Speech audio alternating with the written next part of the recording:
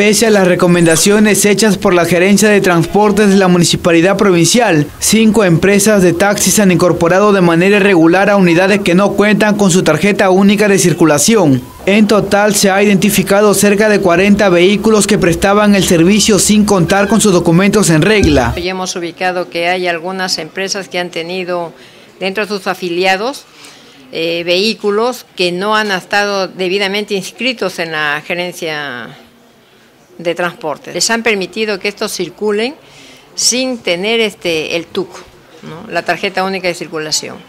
Eso es lo que ha sucedido. La asesora legal de la Sugerencia de Fiscalización de Transportes del municipio de Trujillo, Susan Ahmad, informó que por dicha falta, las empresas de taxi, Trujillo Service, Taxi Internacional, New Taxi, Teletaxi y Taxi Internacional han sido sancionadas con el pago de una unidad impositiva tributaria. Se le ha sancionado con una multa de una T2 que equivale a una UIT, que estamos hablando de 3.800 soles. A las empresas. A las empresas, evidentemente.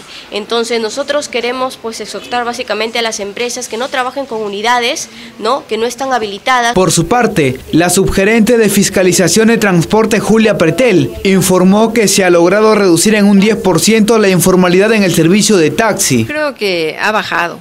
Con, la situación de que estamos con los inspectores en, en campo, debe de haber reducido, posiblemente sea un 10% en la actualidad. Si ustedes se han percatado, salen, sale la informalidad, no sea, cualquiera dice, ahorita me voy a ganar unos cuantos soles, compra su sticker de sol, lo coloca y empieza la informalidad. Pretel señaló que los operativos de los inspectores de tránsito se radicalizarán en los próximos días.